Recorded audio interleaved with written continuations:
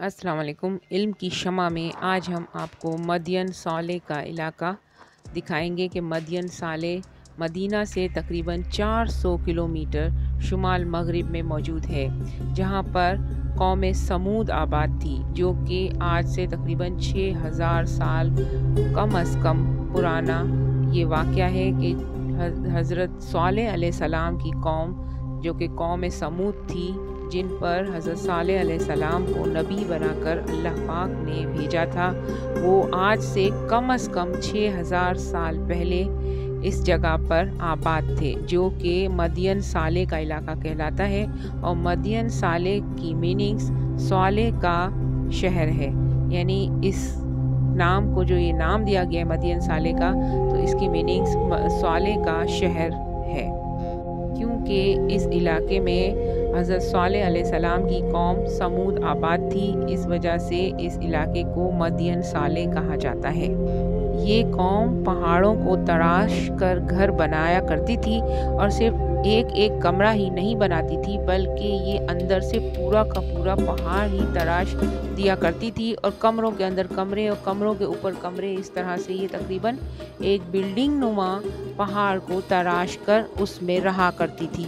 और ये नकूश आज भी दुनिया में ज़ाहिर हैं और सब लोगों के देखने के लिए अल्लाह पाक ने उन्हें अभी तक कायम दायम रखा है, ताकि लोग इसको देखें और सबक सबक हासिल करें। ये वो कौम है कि जिसको अल्लाह ने उनकी सरकशी के बिना पर ऊंधा कर दिया।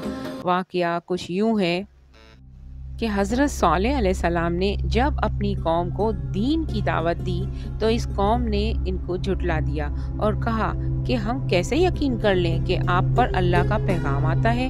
जब तक कि आप कोई मुआवजा नहीं पेश करते, इस पर हम यकीन नहीं करेंगे।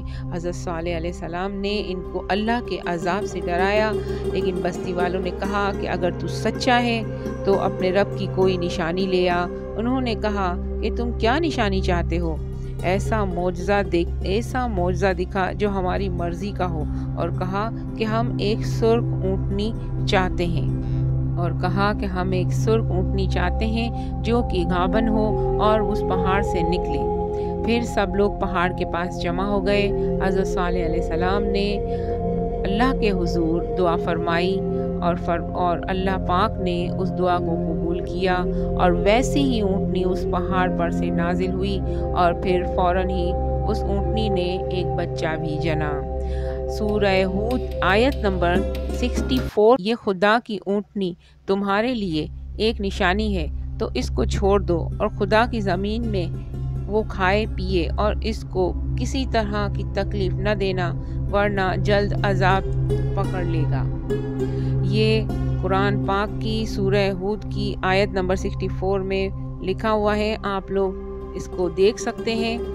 हज़रत सलाम ने अपनी कौम को इन अल्फाजों के ज़रिए से डराया। ये ऊँटनी इस कौम पर आजमाइश थी। इसलिए हज़रत सलाम ने फरमाया कि ये ऊँटनी एक दिन इस कुएँ का पानी पिएगी, जिस कुएँ का पानी ये बस्ती के लोग इस्तेमाल किया करते थे और उनसे कहा कि एक दिन ये ऊँटनी इस कुएँ का पानी पिएगी और एक दिन तुम लोगों की बारी होगी।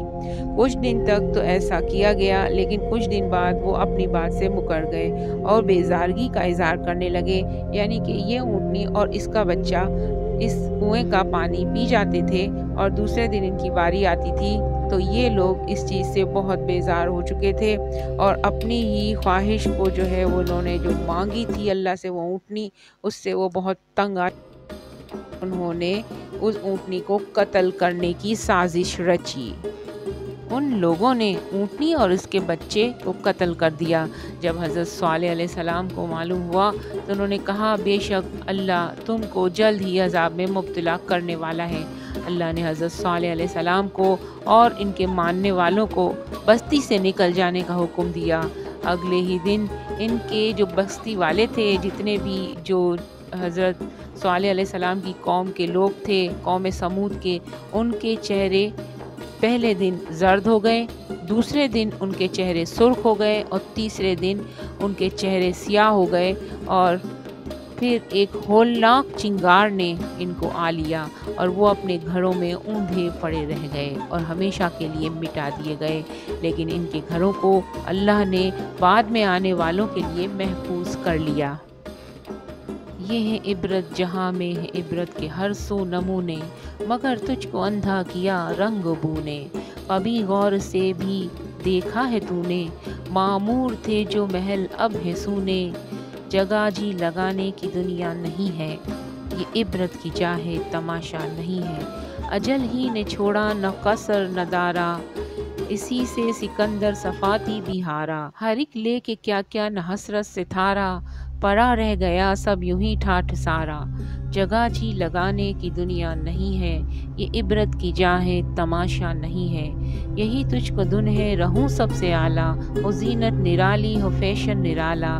जिया करता है क्या यूँ ही मरने वाला? तुझे हुस्न ज़ाहिर ने धोखे में डाला। जगह जी लगाने की दुनिया नहीं है, ये इबरत की जा है तमाशा नहीं है। मिटे नामियों के निशां कैसे कैसे? मिले खाक में अहल शां कैसे कैसे? हुए नाम नामवर बेनिशां कैसे कैसे? ज़मी खा गई आसमां कैसे कैसे? जगह जी लगाने की दुनिया नहीं है, ये इबरत की जाए तमाशा नहीं है। तुझे पहले बचपन में बरसों खिलाया, जवानी ने फिर तुझको मजनू बनाया। बुढ़ापे ने फिर आके क्या क्या सताया, अजल तेरा कर देगी बिल्कुल सफाया। जगह जी लगाने की दुनिया नहीं है।